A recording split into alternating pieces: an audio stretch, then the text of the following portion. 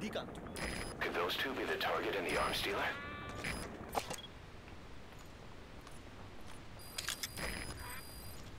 That's the arms dealer, all right. Do you see the target nearby?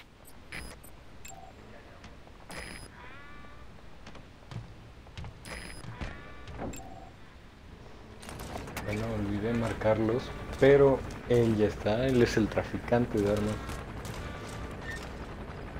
Aunque la verdad, o sea, me pone mucho a dudar, porque no sé si recuerdan que en el inicio de esta plática, o sea, no de esta, sino de la anterior en la casa, dice, una visita del presidente, ¿a qué debo este honor? O sea, me pone a dudar mucho, ¿no? Que después me diga que es un traficante de armas, eso me, o sea, me saca mucho de onda.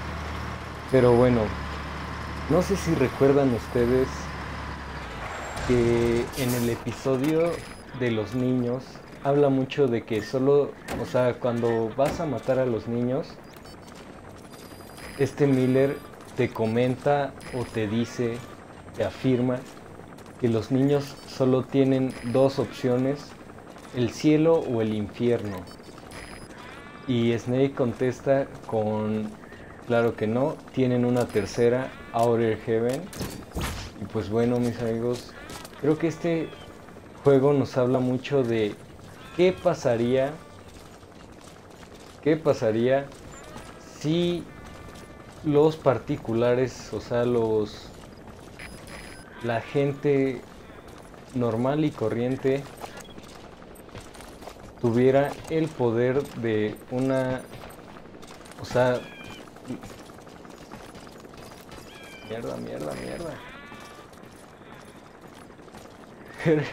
no lo estaba viendo vamos a hacer esto por acá bien bien bien por allá vete para tu casita pero bueno, este juego nos habla muchísimo de qué pasaría si un particular, una persona común y corriente, pudiera tener el poder de un país.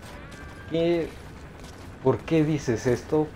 ¿Por qué? Porque Snake es una persona común y corriente y tiene su propio ejército. Y normalmente, ¿quiénes son los que tienen ejércitos? Los países. Entonces, ¿qué puede pasar si alguien puede puede este puede poseer un ejército, pues bueno, lo estamos viendo, pero te pone las dos caras de la moneda, ¿no?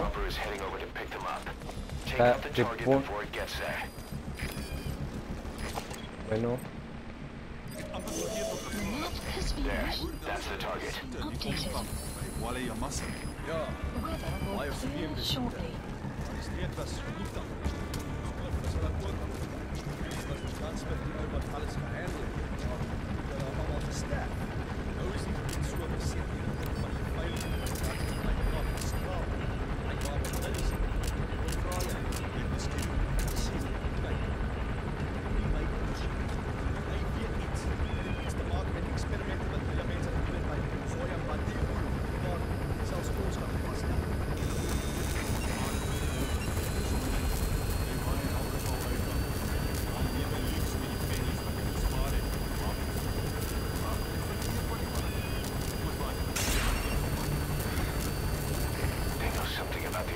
pues bueno, aquí viene, ¿qué viene mis amigos? Todos ya saben.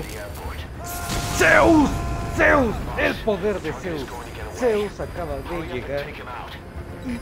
Zeus nos acaba de ayudar a completar esta misión. Recuerdan que les dije que esto se iba a volver un desmadre. Pues bueno, están a punto de conocer a su creador, todos estos señores.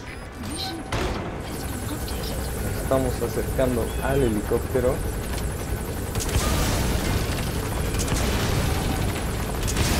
Perfecto. Ahora vamos a decirle a Quiet que empieza a notar gente que necesitamos su ayuda. Y vamos a ver qué empieza a pasar aquí.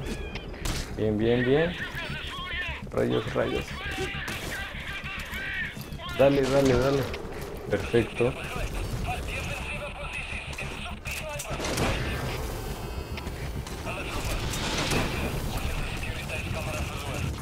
Perfecto, perfecto. Ahora nos subimos a este y les vamos a dar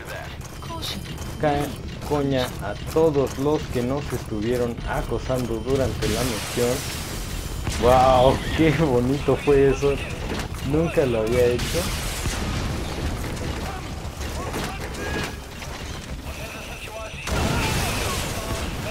¿Quién más? ¿Quién más quiere? ¿Quién más quiere? Tengo para todos mis amigos. Bueno, no tengo para todos. Pero pronto tendré para ti. Estás a punto de conocer a tu creador. Toma esto. Toma esto. ¿Quieres más? ¿Quieres más, mi hermano? Pues toma. Vamos a disparar todo lo que tenemos. Ya nos quedamos así. Nada de munición. Vamos a ver si tenemos otra arma. Tenemos una pistolita. Perfecto. Qué cagado fue eso, mis amigos. Eso fue grandioso.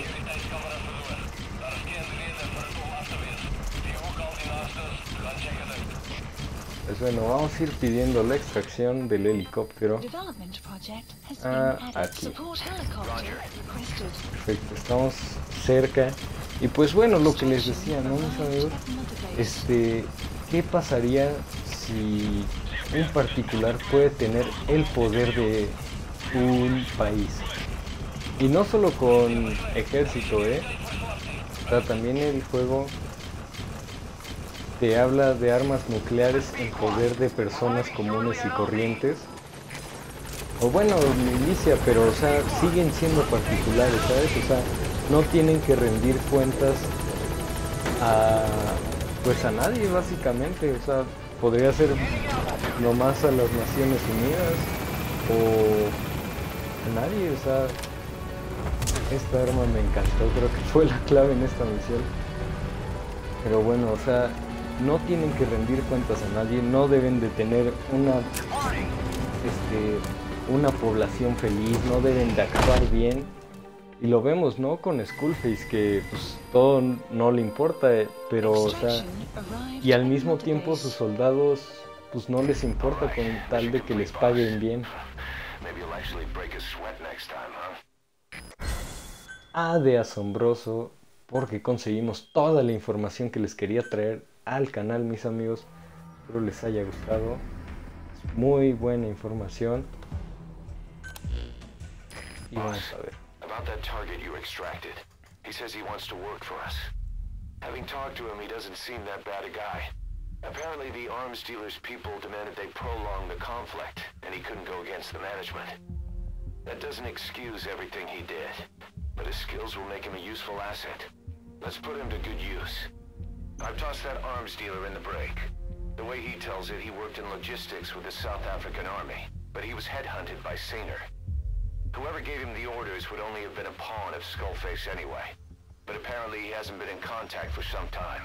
He doesn't know much about Saner, not even what its president looks like. Just another cog in the machine. Pues bueno, mis amigos, mucha, mucha información en esta, en esta misión. Nos han llenado de información para empezar a generar nuestras teorías. Díganme las suyas, yo les diré las mías, las que se me vayan ocurriendo. Y pues bueno, esto sería todo por este capítulo.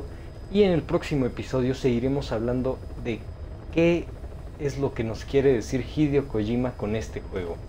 Pues bueno, mis amigos, espero la hayan pasado muy bien en este episodio.